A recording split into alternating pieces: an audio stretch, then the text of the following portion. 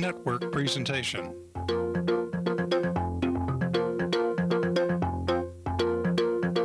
This is the Chippenham Sports Medicine Game of the Week. With your host, Mr. Dave Bird, and special guest NFL Hall of Famer, Mr. Willie Lanier. Game of the Week is being brought to you by Bruce's. You have the right to choose. Choose Bruce's Body Shop. Ukrop's, where people and food come together. The Whitlock Group, AFCC, and Valcom.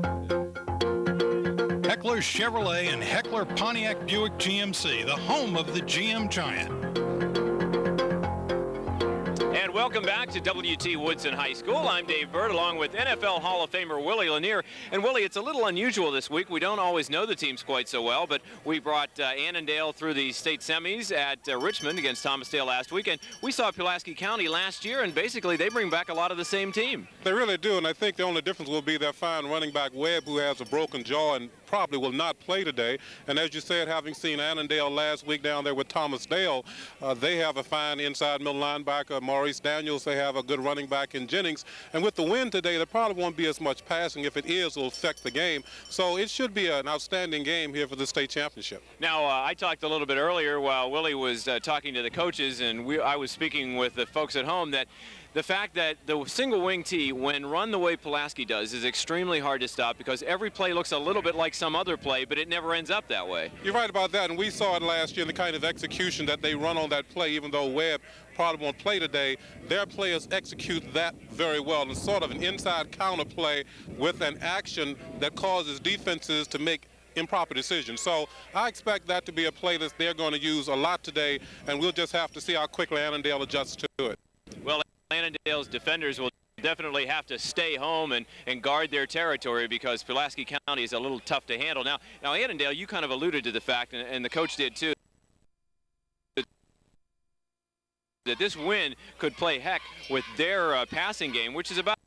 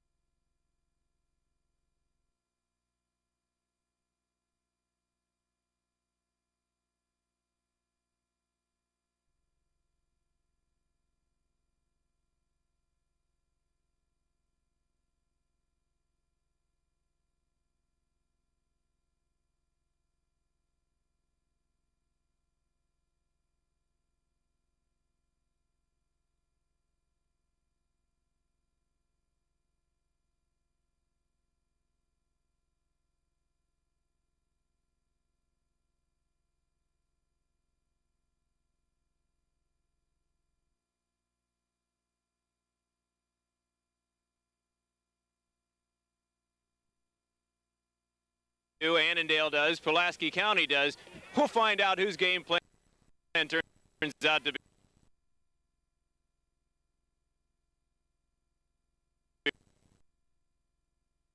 You're Right. The kickoff is next. It's the Virginia Triple A Division 6 State Finals.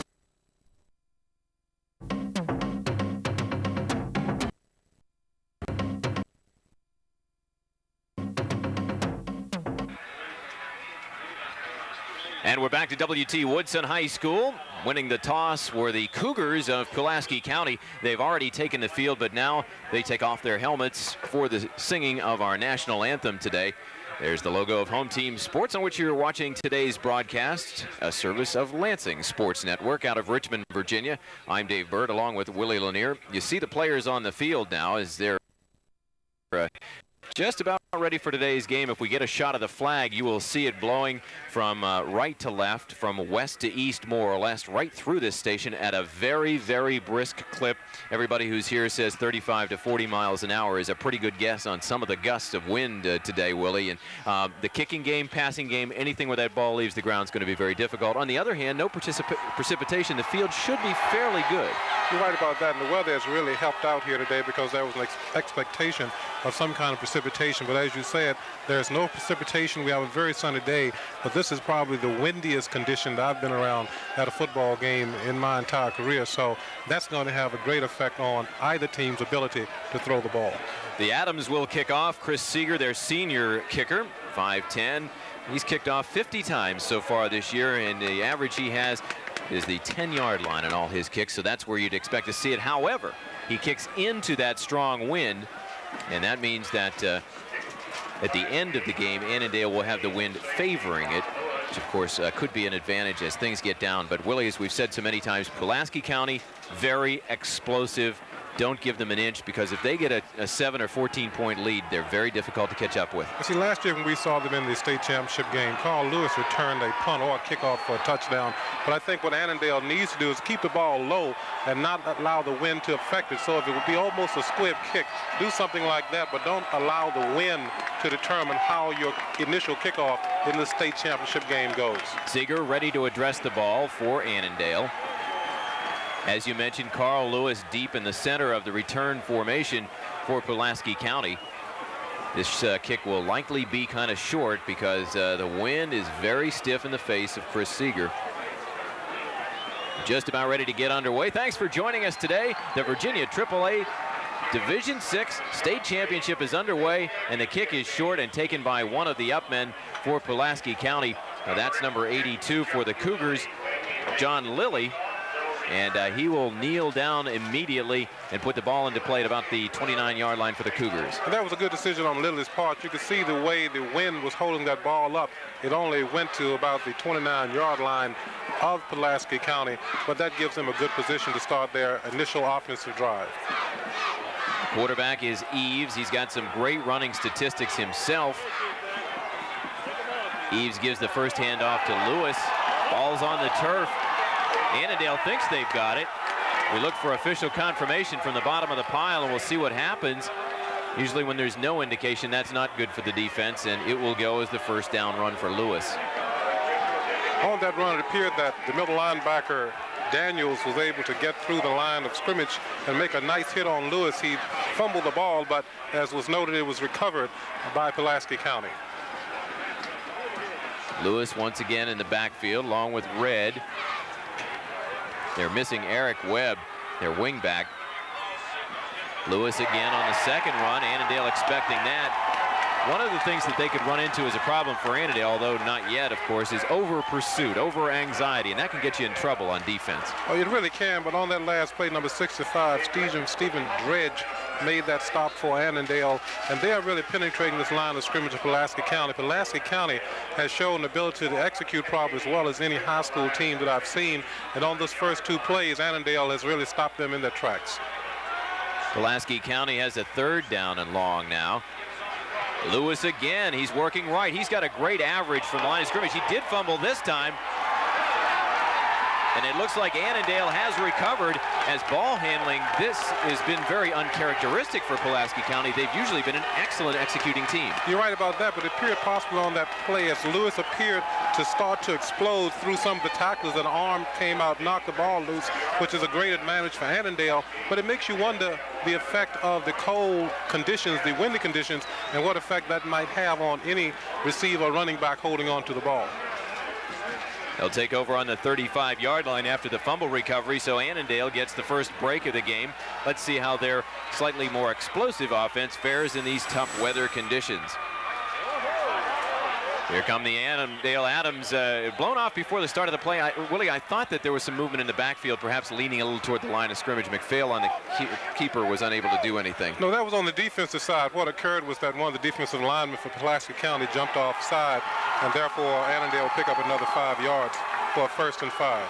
Let's look at the replay of the fumble, Willie, and see if we can pick up as best we can uh, the way that play went and how the fumble came out. We'll look at it after this play. No, we'll look at it right now. Well, it was just a handoff to Lewis going to his right. He makes a sweep and he cuts up field and appears that one of the defenders for Annandale looked like Crittenden had the pickup on the fumble. But they made a great recovery and Annandale starts his drive at the 30-yard line. All right, here comes Annandale again, picking up five yards on the defensive penalty. Jennings coming out of the backfield, really working those legs right up the middle of the field. Eric Jennings, the 170-pound uh, senior, averages almost seven yards every carry. Got a first down right off the bat. He did, and we saw Eric last week in their game down in Richmond, and he didn't gain as much yardage as his average normally portends, but you can see on that play, basically a straight ahead play, and Jennings just was able to take a leg away sort of from the defenders and to pick up a first down for Annandale. Annandale will probably have to play a pretty perfect game today. Already a mistake's been made by Pulaski County. They don't likely make too many more. It's an I formation in the backfield. Santa Ana and Jennings is the tailback. McPhail, the quarterback, gives it to the up man. Santa Ana runs. Looks like he's got himself five or six yards. If those two can alternate well, last week Annandale played Thomas Dale. They only had one good running back. Having two, I think, would be a big advantage against that defensive line. It really will because as we were talking earlier, the defensive line for Pulaski County averages, I think you said maybe 20 to 25 pounds, 30 pounds more than the offensive line of Annandale. But the thing that happens, as long as you can execute well, get good position, then you can still gain yardage as Annandale has shown they've been able to do so far. The Adams continue to roll now. Second down and four. Six yards to gain for Santa Ana on the first down. McPhail this time to the tailback. Jennings cracks through the hole. Looks like he's got another first down inside the 10-yard line down to about the 7. Willie, it'll be first and goal. And Annandale is continuing to run their inside running game extremely well. All, all they're doing is matching up offensive linemen with defensive linemen, trying to just find the creases, and they are continuing to do that very well.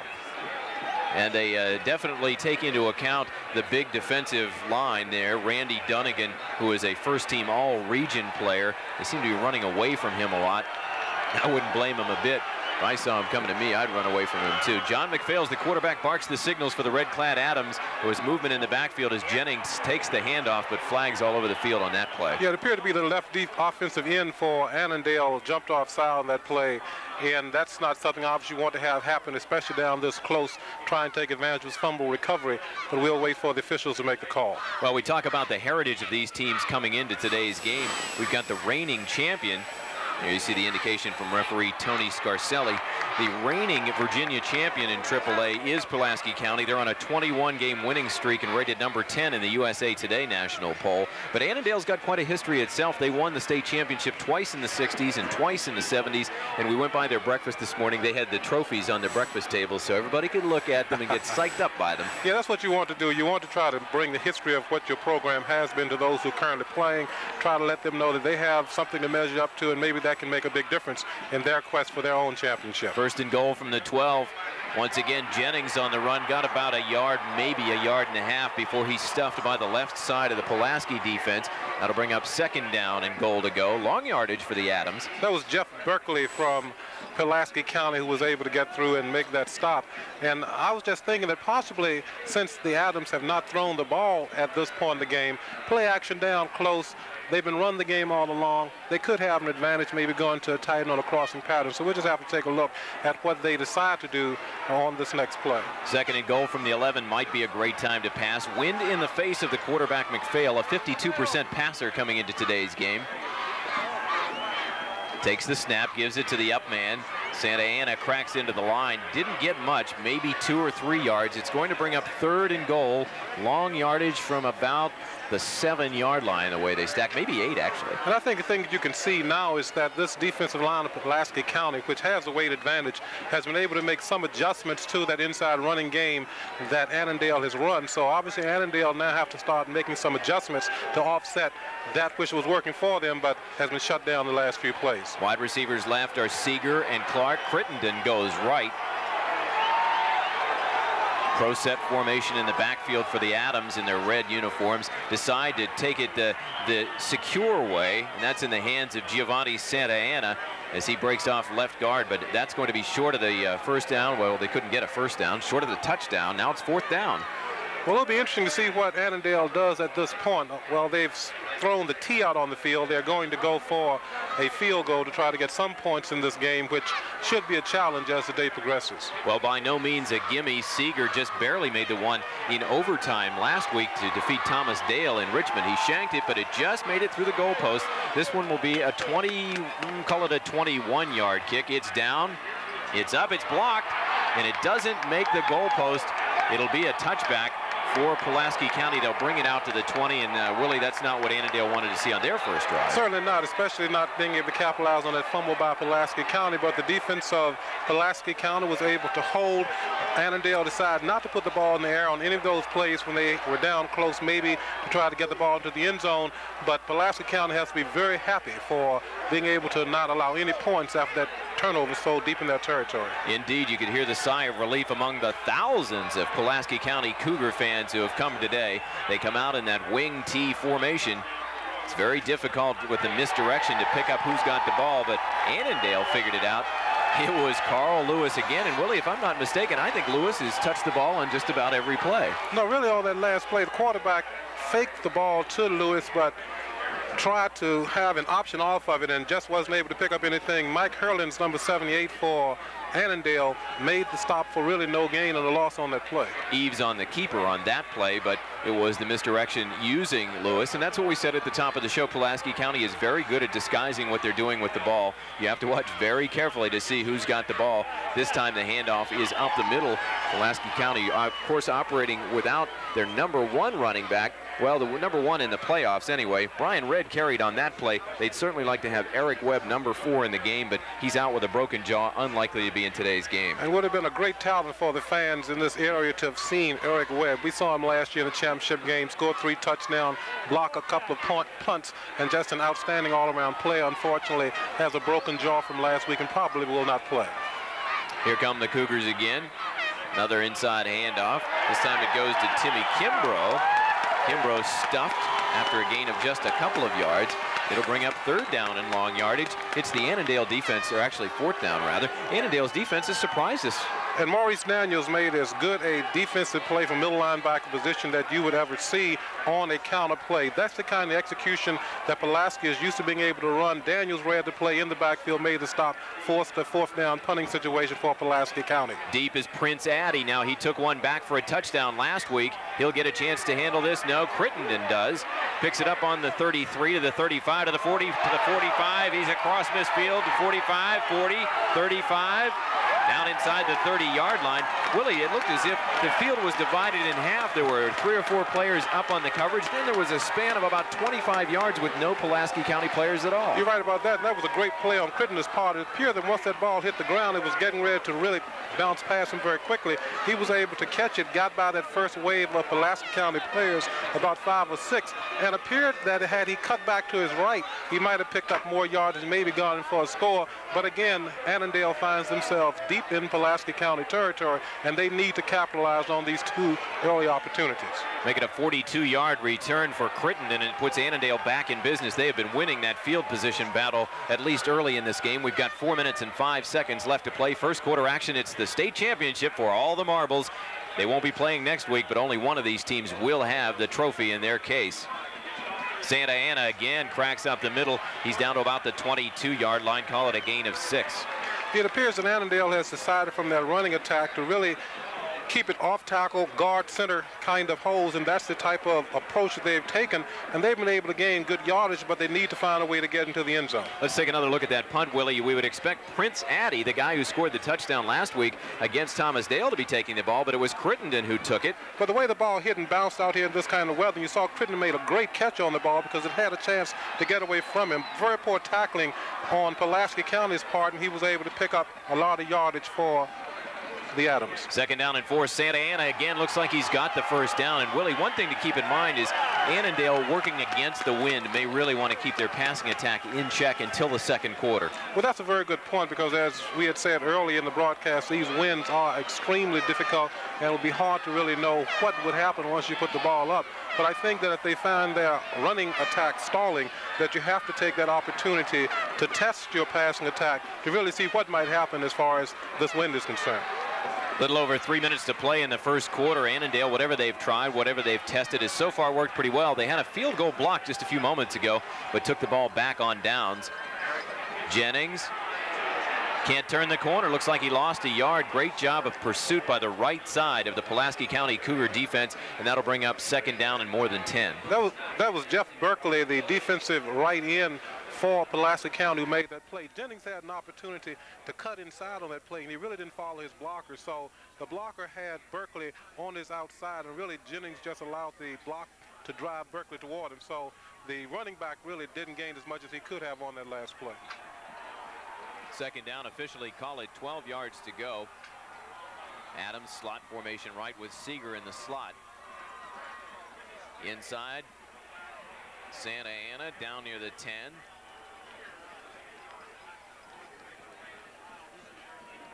Remind uh, all our folks who are watching this broadcast, our usual Virginia AAA broadcast for the first time, that Bruce's Body Shop, a well-respected body shop out of Richmond, Virginia, sponsors our Player of the Week program, and they award a jacket to the player who most distinguishes himself in our football game.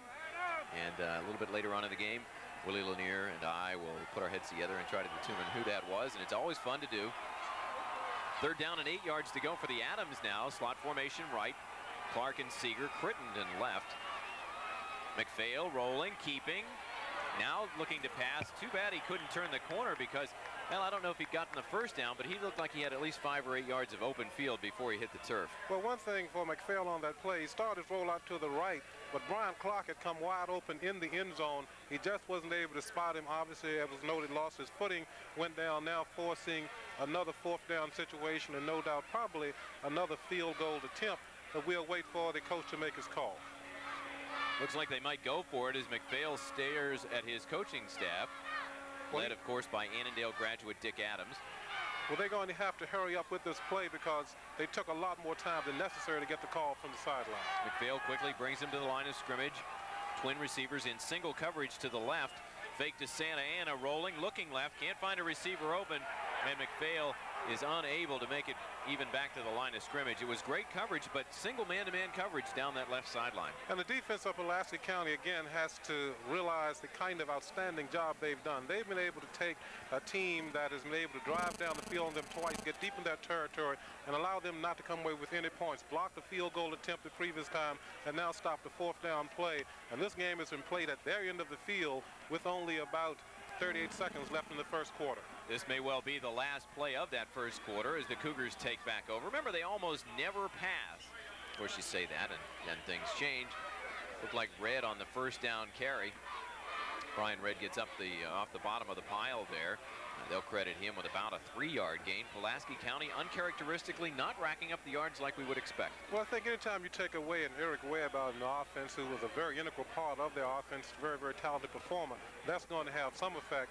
But uh, they have not equipped themselves well so far this afternoon here at Annandale, and now we're just coming down to the end of the first quarter. And that is the end of the first quarter, as they probably did not get that play off. They snapped the ball right at what would have been the end of the quarter, but I think they've waved it off. Now they swap ends, and we take a two-minute timeout. We'll be right back with more of the AAA State Finals Division 6. Woodson High School, Fairfax, Virginia, scene of the Virginia State final game. On second down, the carry was by Lewis for a short gain. Third down and eight now for Pulaski County. A little bit of a mishandling there in the backfield. The ball ends up in the hands of Brian Red, and Annandale has once again stopped Pulaski County as they have on their three previous possessions. You're right about that, and the thing we always see is very good execution from Pulaski County. We haven't seen it yet, and there's a player for Annandale on the field, and the medical staff is going out to attend to him at this time. Annandale comes into today's game with a 12 and 1 record. That one loss came to uh, earlier in the season, second game of the season. Lake Braddock, the final score six to two. Now you know when you hear a six to two score, that had to be an ugly, ugly game. Well, that's only if you don't like defense. But for a former defensive player, that had to be a great game to uh, be able to play it that closely. For Lake Braddock to have played this team is playing for a state championship and winning six to two, uh, that had to be an outstanding game. Well, you got to figure that there were some definite offensive mistakes made if. Uh, if uh, that game was only six to two. Uh, all the defense, you know, they scored a safety. That was just about it. Anyway, that happened second game of the season. The Atoms at that point only one and one on the year.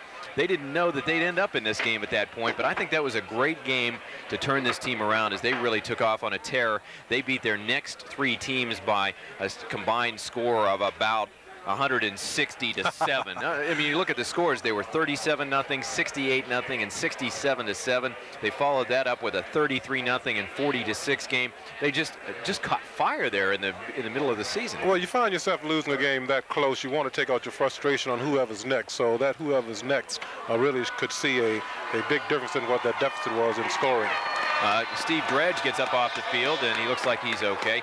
By the way, fans, if you'd like a copy of today's game professionally duplicated for you, stand by in a moment. Well, there it is now. There's the address to send to. If you don't get a chance to copy it down now, we'll come back to it in just a second for you.